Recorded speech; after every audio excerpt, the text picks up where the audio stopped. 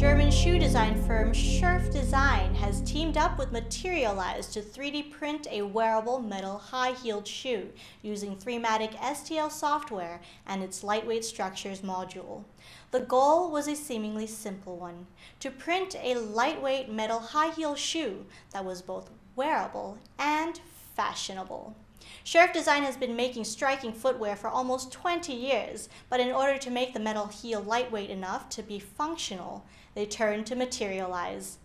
Over a period of five months, Scherf designed what most ladies and a few gentlemen would call a pretty fierce shoe, and used the 3matic STL software to design the metal heel and its internal honeycomb support structure. The body of the shoe is made from traditional materials, and the heel itself is printed by metal additive manufacturing company Layerwise.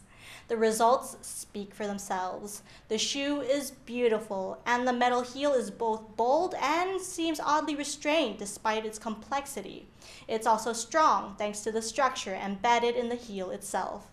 Designing a strong honeycomb structure capable of supporting the shoe's wearer and incorporating it into an odd shape like a high heel is simply not something that would have been possible with traditional design software.